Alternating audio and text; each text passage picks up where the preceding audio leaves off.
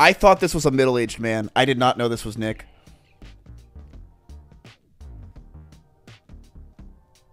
I legit thought this was like a 45-year-old dude. I did not think this was Nick. Same. Did anyone else not realize that was Nick? I legit thought this was like a 45-year-old man.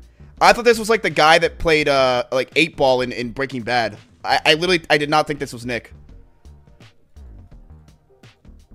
Whoops.